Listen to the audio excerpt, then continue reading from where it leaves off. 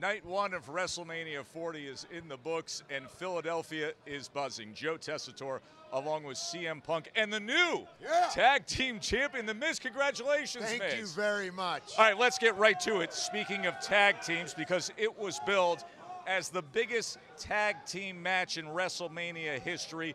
Cody Rhodes, Seth Rollins against The Rock and Roman Reigns, and it finishes with a rock bottom, a people's elbow that comes with a "This is for you, Mama Rhodes," and then a cover by The Rock on Cody for the win. Your first reaction? Uh, deja vu all over again. I'm reliving a nightmare that I experienced firsthand about 10 years ago, and now our buddy Cody Rhodes is going through it. I didn't get a chance to wrestle the next night. Cody does. It's got to be all about redemption, but because of the way it went down the night, tomorrow night's match, Cody versus Roman Reigns for the undisputed Universal title, is Bloodline Rules. Which But I mean, means isn't that what we be- just Yeah, saw? right. I mean, You did he did everything he wanted. We're gonna to get do. to that. Yeah, The Rock absolutely. did everything he wanted to do. He dragged a referee out, and like, I mean, there was just so much that was going on in that match that I was like, there was no ten count.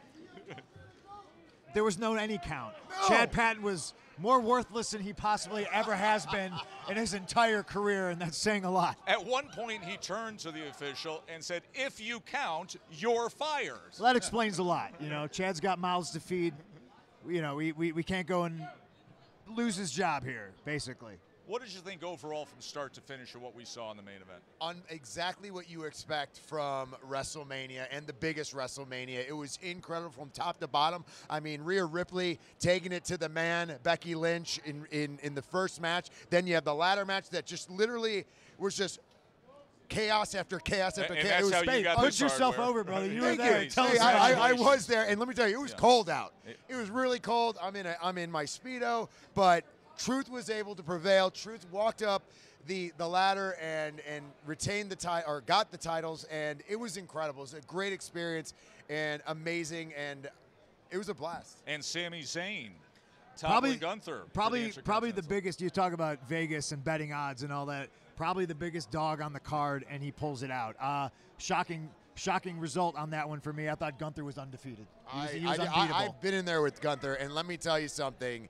He's all- everything he's cracked up to be. I mean, he made that Intercontinental Championship exactly what I always wanted it to be, which is prestigious and relevant, and it is more relevant than it's ever been in its history.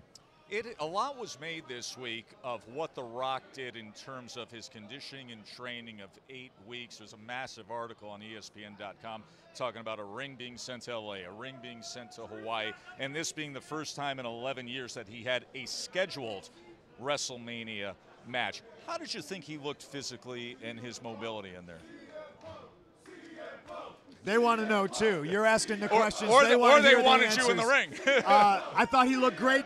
You know, as being somebody who wrestled him 10 years ago, and the same questions were lobbied around. Everybody wanted to know what he was going to look like, how his wind was going to be. And while there is a giant difference between a tag match or coming back to wrestle the champion, uh, I thought he did very well tonight. I thought he looked very good, and he won the match. So, what really can I say? Let's face it, now they're chanting for me to go. so I guess it's my turn. And uh, he looked incredible. And to say you still got it, he definitely still has it. And everything that he says, everything he does, it makes you glued to the television set. Biggest surprise of the night for you? Uh, I'll go back to Gunther, Sami Zayn. Sami Zayn winning the Intercontinental Championship from Gunther, who, again, I thought was just unbeatable. Biggest surprise for me. And, and at times during the match, he looked that way. I mean, there was, Absolutely. there were stretches, Miz, of absolute domination by Gunther in that match. Yeah, I mean, uh, you know, you look at Gunther, he's hard hitting, he's aggressive. But Sami Zayn, man, there is something about Sami Zayn. He knows how to fight from underneath and he knows how to overcome the odds, and that's exactly what he did. Now let's get to your match, the Thank you. six-pack ladder match. Listen, I didn't want to Th- talk too much because I just there to there were Since when? jaw-dropping. I mean, there were jaw-dropping moments there. Yeah, I mean, between Grayson Waller getting thrown through a ladder and JD getting thrown into tables, like, it's hard for me to tell you because I, I wasn't able to watch it because I was on the ground fixing myself, like getting Yes. ready to go up and watching, like, whatever you saw. I didn't get to experience because I was on the ground hurt. Yeah, and Punk, I was looking at the height of some of those ladders sitting Yeah. back. I mean, Some of us backstage like to uh, affectionately refer to those matches as car crashes. They're fun to watch. You know, they're not so fun to be in, but he's got the hardware, and what a great moment for Ronnie. 100%. You talk about a guy who has defied the odds. You talk about him almost losing his leg recently Yes. to a, a, a bad operation and an infection. And two of the two of the longest tenured guys right. on the crew deserves everybody's respect. Just a great moment. I'm happy for Ronnie. I'm happy for you. Being up there with Ronnie and uh, once he won and going up there, like we were almost in tears. Just holding because he's waited so long for this moment at WrestleMania, and it, it was the fans. The fans are what brought it to. I mean, I don't think Ronnie has been as hot as he is right now. Speaking of the fans, 72,543, an electric, chilly atmosphere, but such energy here in Philadelphia. You gonna get a tattoo of the number? I'm so cool. No, I don't have any tattoos. Okay, I don't know. you're talking Sorry. to a guy who has zero tattoos. Sorry, take it easy. Take it easy. Uh, it's a testament to not only to me, the athletes in the ring, to wrestle like that when it's just chilly out, uh, to the fans, the crazy freaks in Philly that. Also, people from around the world. I, I, I guarantee you, every single state was represented. I don't know how many countries. We love our numbers here in the WWE. You're going to hear it all get rolled out probably in the next coming days. But the, the most amazing thing to me, we got one day left. One This is two nights now. I'm it was never man. like that when I was here before, so this is all new to me, and I'm going to really enjoy myself. We get to do this all again one more day. Yeah, and if you think the fans are wild right now, wait till tomorrow night. They get absolutely insane. Sunday night is their finale, and it's and by the way, it's not even our finale because we have Monday Night That- Raw right. here in Philadelphia, and it just keeps rolling on. It, it does, but let's get to quickly how tonight's outcome now impacts tomorrow because tomorrow you have the undisputed Universal Championship and it will be bloodline rules because of what The Rock was able to accomplish and how things finished up here this evening.